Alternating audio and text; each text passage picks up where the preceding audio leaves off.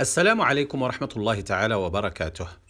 الاتصال بالأرقام المفضلة على الآيفون دون الدخول إلى تطبيق الهاتف. فضاء التقنية Espace Tech. فضاء مفتوح للجميع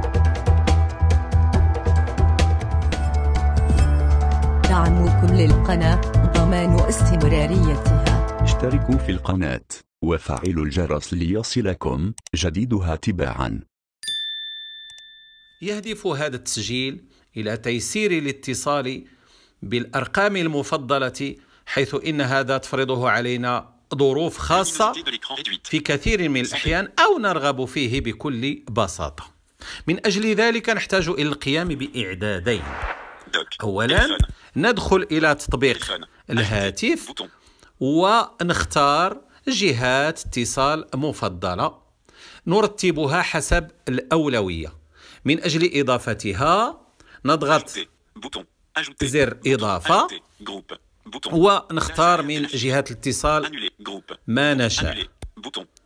ومن أجل ترتيبها نضغط تعديل في الأعلى ونضغط على أي جهة موجودة في أسفل القائمة نريد أن نرفعها إلى أولها. نضغط طويلا ونسحب إلى الأعلى حتى تنضاف إلى بداية القائمة. ثم نؤكد بالضغط على زر أوكي.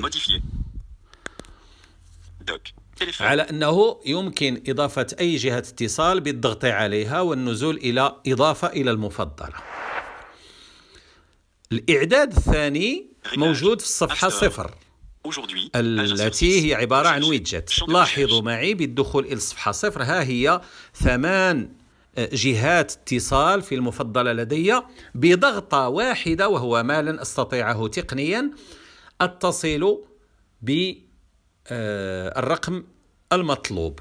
وهذه هي النتيجة التي سوف تصلون إليها بحول الله. لأجل ذلك نسحب إلى الأعلى حتى نجد زر modifier أو تعديل. هنا لدي جهة الاتصال المفضلة. هي العنصر الأول. حسب رغبتي لكم أن تضعوها كعنصر أول أو ثاني أو سوف أحذفها.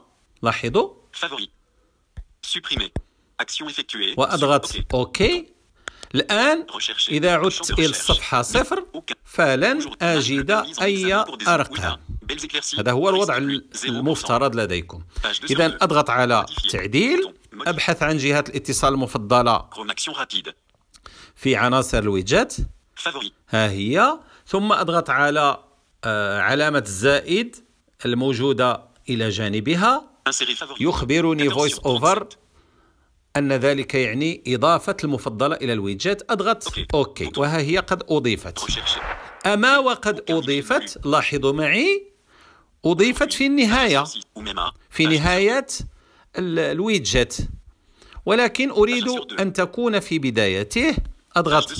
modifier. تعديل. أنزل إلى المفضلة. أضغط. إعادة تنظيم favoris وأسحب إلى الأعلى لأجعلها أول عنصر ثم أضغط OK. وبذلك صارت كما تلاحظون في أول قائمة الويدجت. يكفي أن أضغط ضغطة واحدة لأتصل بالرقم الذي أريد. كان هذا هو ما أردت إيصاله إلى مسامعكم الكريمة. اليوم. إلى أن ألقاكم مرة أخرى. دمتم في رعاية الله. والسلام عليكم ورحمة الله تعالى وبركاته.